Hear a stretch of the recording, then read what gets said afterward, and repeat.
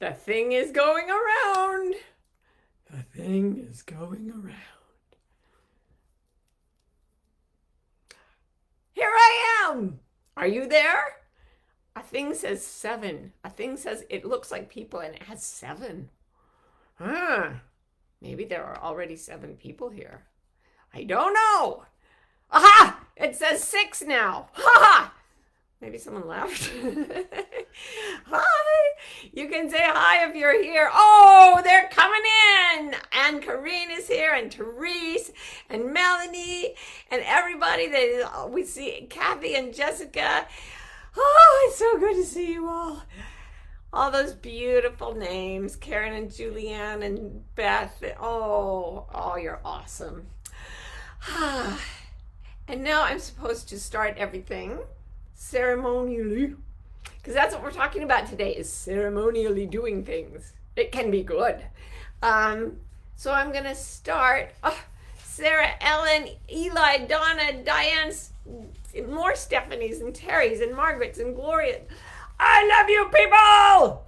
So here we are. There's over a hundred of us so i'm going in.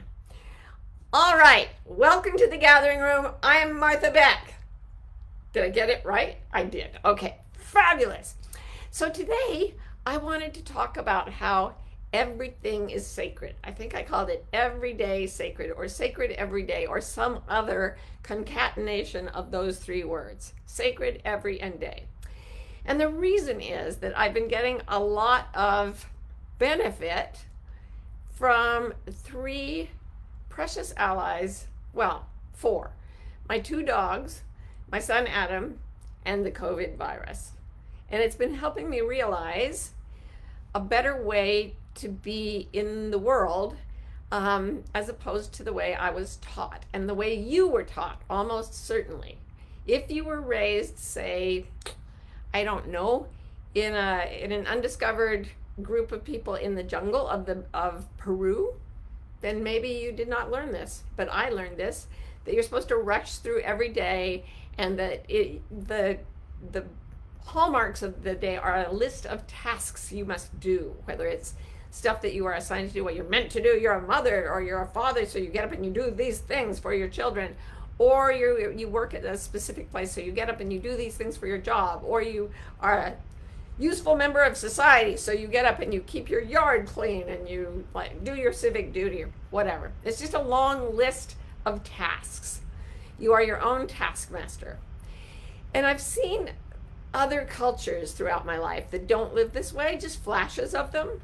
And they always struck me as very strange. And it's uh, when I was 20, I think I was 20, maybe I was 21, but it was my first trip to, ever to Indonesia.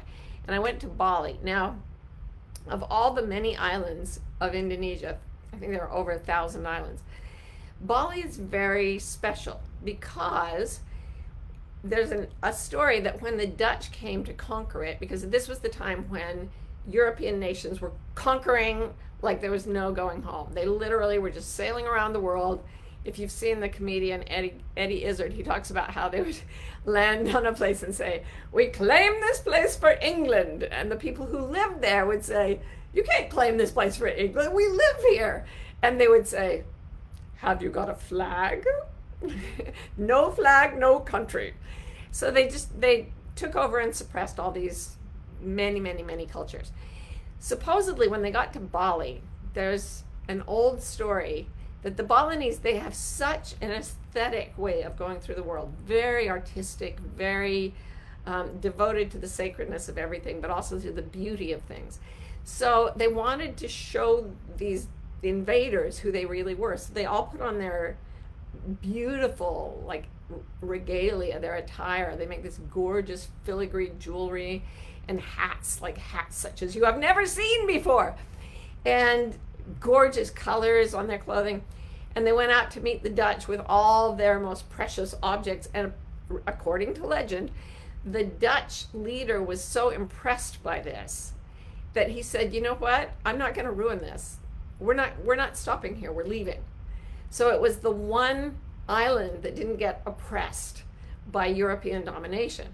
So the original, well, the ancient, ancient way of living there is still going on today. And of course, it's become a huge tourist attraction, but it's still, it's, it retains its purity. And I went to Bali, as I said, when I was 20 or 21, and I was fascinated by all the, I thought, I'm so lucky I got here on the very day that they're having a big ceremony. I was walking down the street and there was there were temples everywhere, little sacred places with beautiful carvings in the in stone and overarching trees with flowers. And I went into one and it, I thought I'll just watch the ceremony. And I don't know what kind of ceremony it was, but there were candles involved. There were packets of food wrapped in bamboo. There was much dancing involved. There were bells being rung. It went on and on and on. It went on for hours. I didn't even see the end of it. And then I found out that it was just an ordinary day in Bali. Um, the next day, I, was driven around by this um, by a local guide, and he was telling me all about the different celebrations they have, and, and they have so much ritual and so much um, protocol. And one of the things he told me he was from a caste, so they have social castes there, that was lower than his wife's, and they'd fallen in love and the greatest heartbreak of his life was that he had not been allowed to attend her tooth filing ceremony. I should look up what tooth filing ceremonies entail. I don't know. I just thought it was fascinating that they had this really important ceremony for filing someone's teeth. And because of protocol, he couldn't go. Anyway, so I thought, well, that's a strange culture. I thought at 21, in my defense, I was barely out of the womb. And um, I didn't see another culture like that in action for a while. And then I went to a, a blessing way ceremony of the Navajo Nation. Actually, later on in life, I actually called a ceremony. I, I talked to a friend I knew who knew a friend who was a Navajo medicine man. And I asked if we could have a ceremony to launch our efforts to save the world. I had just decided that all of us who who love the earth are destined to try to save it in this lifetime. So I wanted a ceremony to launch it. Had a bunch of my friends come in, and we thought, okay, we'll do this.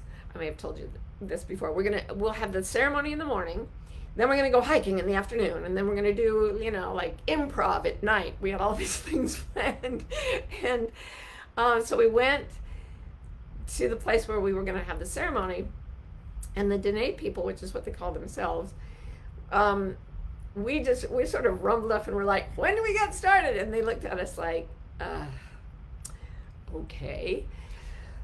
They, they, you could tell they were sort of being patient, and I couldn't—I didn't know what I'd done wrong, and they'd brought all these long poles with which they were going to erect a teepee. And teepees are huge. This teepee was going to be huge. It was like 20 feet in circumference. And so these poles were very long and a bunch of us always wanting to help, you know, good Anglo American want to help people. We all jumped up on this trunk, uh, this truck that had the poles on it and started unloading the poles, and that was just too much. And they said, "Stop."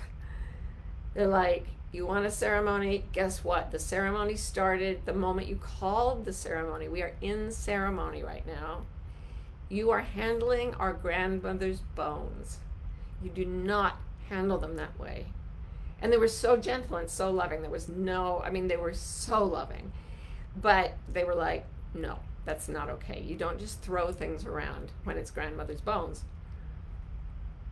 So, um, that went on. We were going to do that for the morning.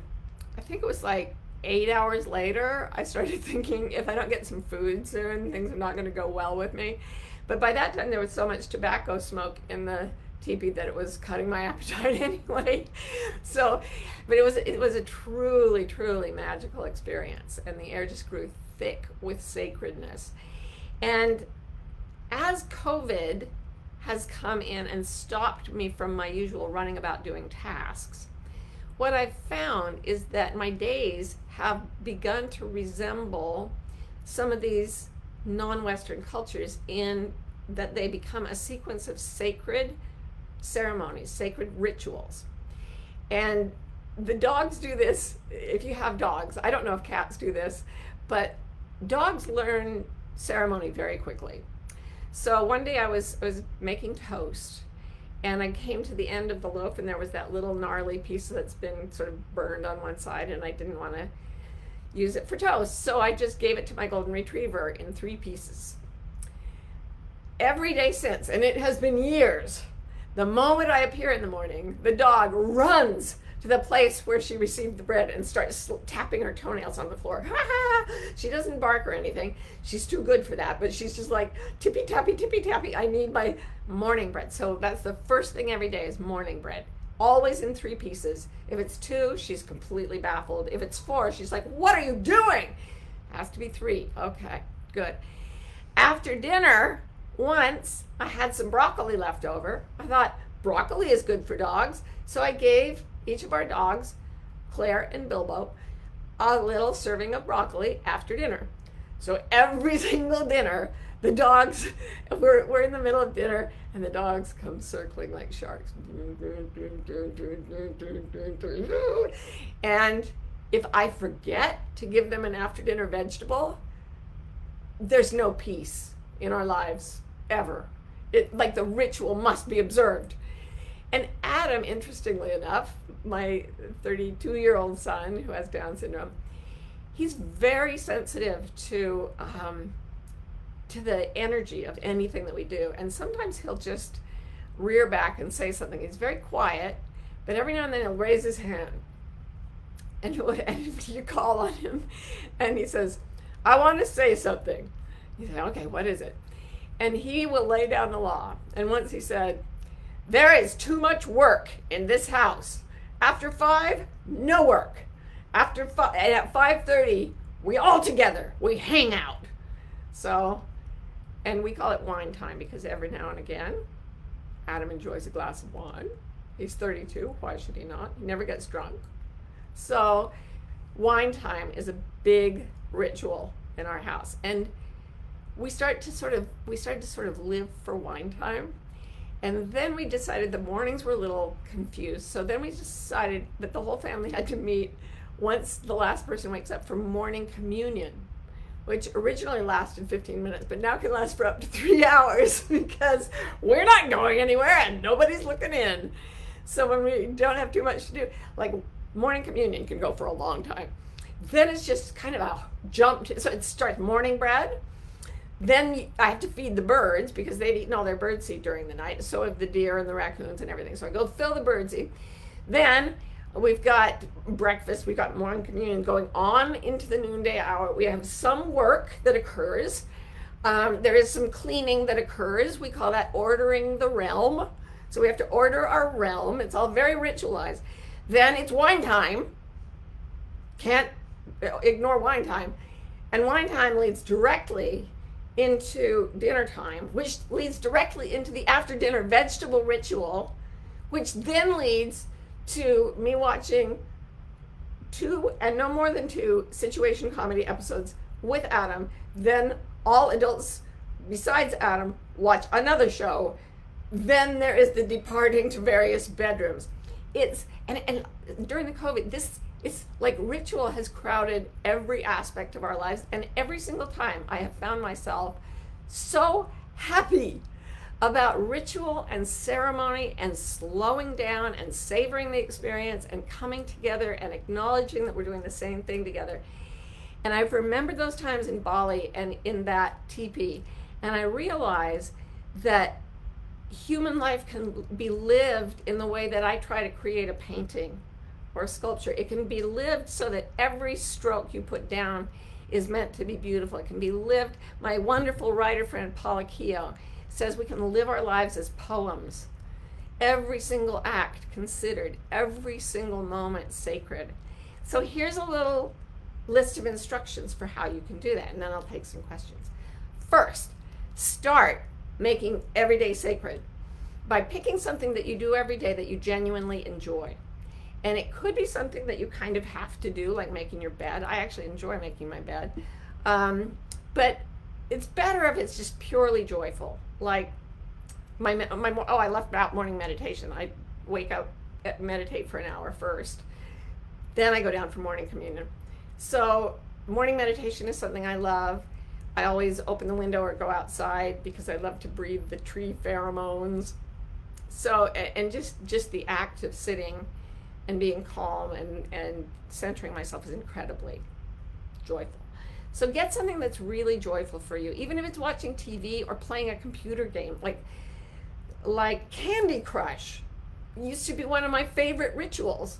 I would sit with Adam during the TV time because I'm not that into TV, and I would actually be playing Candy Crush. And it's very reinforcing. Things are shiny and they smoosh. It's amazing. And it was part of this sacred ritual that I have with Adam. So it actually felt sacred. So choose the something you love.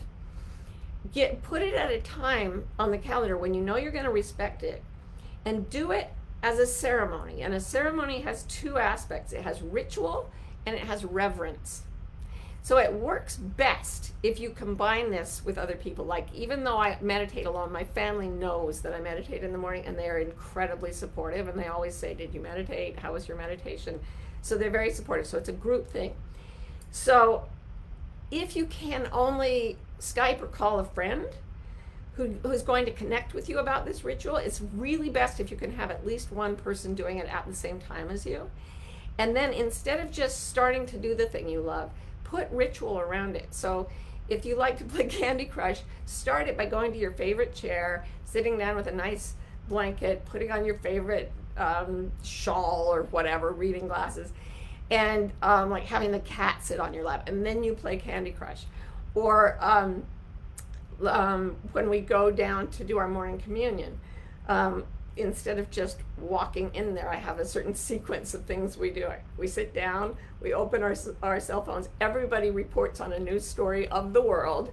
Then we go to other apps that make us happy to report things like funny jokes. In fact, um, I wanted to say something about doing it reverently, which just means respecting it and doing it no matter what. It's good if you have a dog or an Adam around who will not let you get out of it. But one of the things that I love, I was told to be reverent as a little Mormon girl in church, and I hated it. So I grew up to be incredibly irreverent, but I'm actually reverent about my irreverence. My irreverence is a ritual. So the way I, I, I go to affirmation sites and I look for weird animal pictures and I put affirmations together with weird animal pictures. Like it'll be a picture of a dog like doing a face plant on a yard and it will say, everything I do is divinely guided. And I make these stupid little affirmation things that I can't use because I love to. And that's part of my morning ritual. Anything you do, as long as you do it, as long as you love it, will bring in, um, will bring you a sense of deep fulfillment and a way of looking forward to every day, structure in every day. So my whole takeaway is instead of structuring around work, work, work, work, work, create structures of joy and make them things that can't be broken, appointments that can't be broken because they're for your soul, they're for your spirit, they're for your the people you love and the connection between you. And those things are so much more important than everything that we can't do because of COVID, right?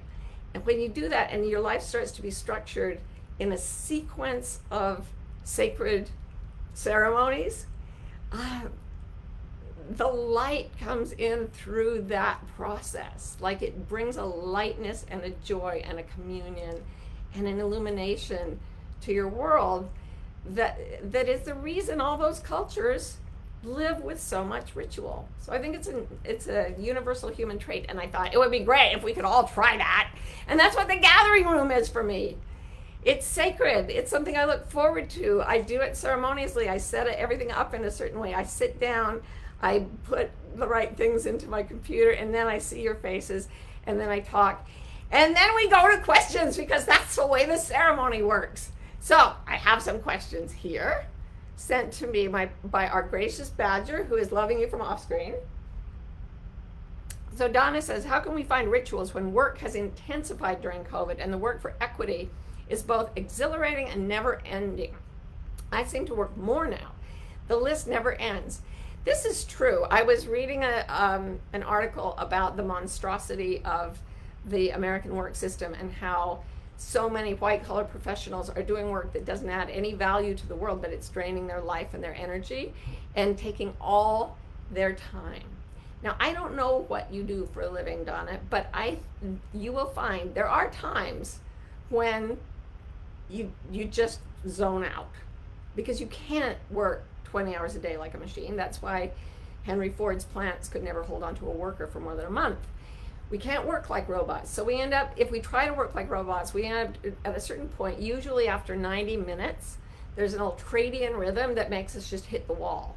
And we sit there and we try to keep working, but really we're just staring. Notice the times in your day when you're not productive and decide I'm going to do my work for 60 minutes. I do this all the time, set a timer. And after that 60 minutes, I'm going to do 30 minutes of something. I'm going to play Candy Crush as a sacred ritual for myself, for my own healing. Um, the more you let the, the, work expands to fit the time allotted. So you've got to just a lot less time and then insist on on the um, the sacred ritual. And for me, working for equity, like um, the reading that I've been doing and the I, am so into this. It is both exhilarating and, and never ending. And for me, I only do it as a sacred ceremony. Like when I sit down with the books that I've, the, the latest book, or when I am talking to a friend, I can have like frank, brutal, right out there discussions with African American friends now and it's just it's sacred time. You set it aside you respect it you honor it. Um, and it becomes the the good fight becomes exactly like the blessing way ceremony. I was talking to a friend yesterday who said and he's so sacred he's so cute and he always has to end our conversations with this sacred to me sacred but with a special hugging sound on the phone. Um, and he was saying, you know, we have to we have to love the people out there who are driving us crazy. We have to love them and make them feel safe. We've got to make the whole world feel safe if it's ever going to be sane again. And um, the what the sacredness he brought to the task, and the way he started out with this burst of joy and ended with this audible hug, it was the most sacred ceremony I could imagine. And, and I am putting in my calendar times to call him back because he's just pure spirit. It's so beautiful. Oh, Emily asked, tree pheromones, what's that? Did you know we co evolved to uh, breathe in pheromones from the trees? You know that animals put out pheromones, right? Moths and stuff. So do we. So do trees. All plants, all life puts out pheromones we sense them with an organ inside our noses. We don't smell, they don't smell like anything, but our brains pick them up. And we are so constructed that when we go into an environment full of plants, within about three hours, our natural killer T cells, the protective cells in our immune system, double. When you go out among the trees and breathe their pheromones, they're mostly carotenoids, I think. I don't know. But um, I could look it up for you.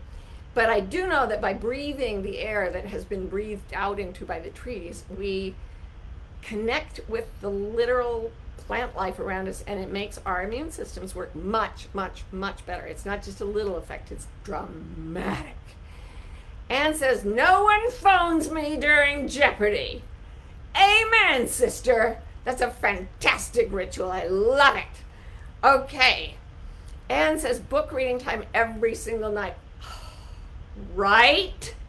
Right? I was, oh, I was reading my um, sociology stuff at night, my equity stuff, and I would get so fired up and sometimes so horrified that I couldn't sleep. And so that had to take an earlier time in the day. And then I put reading something like literature at night because it puts me to sleep so sacred. I mean, the act of picking up a book and smelling its pages, or picking up your Kindle and leafing through it, it's all sacred ceremony. And if you do it four days in a row, you will already have established in your own nervous system the expectation that that will continue. They say it takes 21 days to cement a, a habit into your brain so that you will always do that thing. But it only takes four days to set up an expectation if you've got a dog, it only takes five minutes if you're if it involves food. But if you just do something four days in a row, uh, actually on the fourth day, the first time it's like, whoa, I don't know, this is kind of weird. The second time it's like, okay, I did this once, I can do it again. The third day is like, well, three's the charm. And the fourth day is like, oh yeah, that's something I do. And after four, it's just part of your life and you will respect it. So keep going through that first four days you'll be golden. Pam says, I have my tea and my gathering room, a favorite ritual with all these friends. Isn't it amazing? I just wanted more ritual. And so I just started broadcasting. It's ridiculous. And here you are, and we're having the most wonderful time. Okay, Supriya says, What's the consensus on affirmations? Sometimes it feels like the repetition reiterates my doubt. Yeah, there's something in the brain called the ironic monitoring process. And the problem with it is that if you have an affirmation like, I see greatness in all I do, that signals the ironic monitoring process in your brain to go around looking for places where you don't see greatness because there's an underlying fear behind every affirmation is its opposite. Like, I see greatness in all I do is kind of like I doth protest too much about maybe not seeing so much greatness in all I do. So you're sending the brain to go look for contradictions.